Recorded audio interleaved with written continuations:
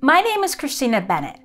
In 1981, my mother was pregnant with me and she paid for an abortion. At the abortion facility, she met a janitor who asked her if she wanted to keep her baby. Those words brought conviction to her heart and she knew she couldn't go through with the abortion. The abortionist pressured her to stay, reminding her that she'd already paid for it. When she insisted on keeping me, he yelled, Don't leave this room. She ran out and my life was saved.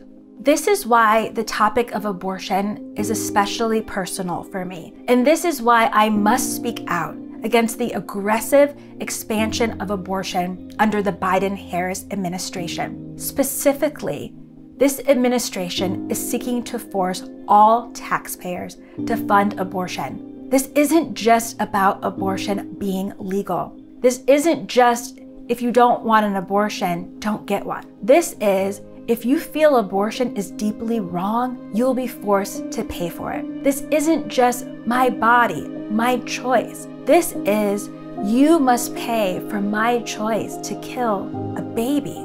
This would cause all taxpayers to be forced to pay for the exploitation of women and the murder of children through abortion. Let's make sure we know what we're talking about when we discuss abortion.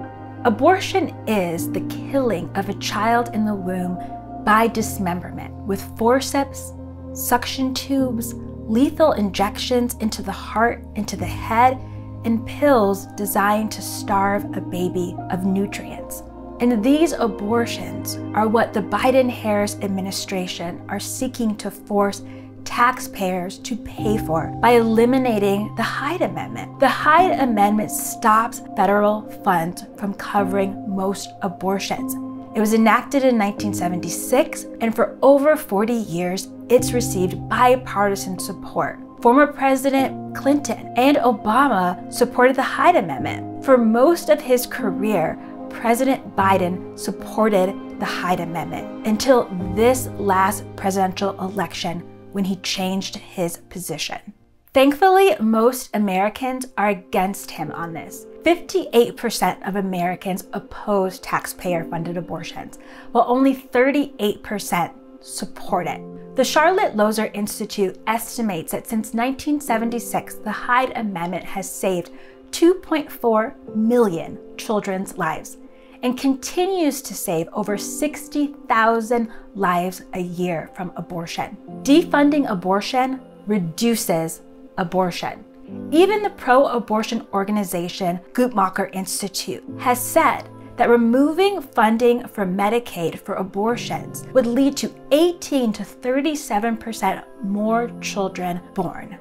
The abortion lobby says that the Hyde Amendment disproportionately affects poor women, but the solution to poverty is not killing poor children. No one should ever tell a woman that a path out of poverty is found by killing her own child.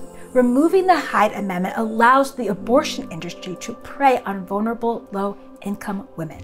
The abortion lobby says that the Hyde Amendment disproportionately affects people of color, while we care deeply about the issues that people of color face, the solutions to systemic racism are not found in killing more black or brown children. No taxpayer dollars should be funding abortion, whether federal or state taxpayer dollars. It is a tragic abuse of human rights that abortion is legal at all.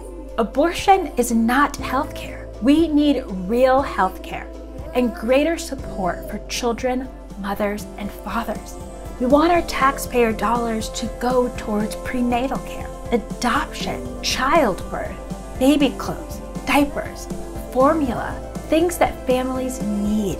I was saved from abortion, and we must work together to save every child from abortion.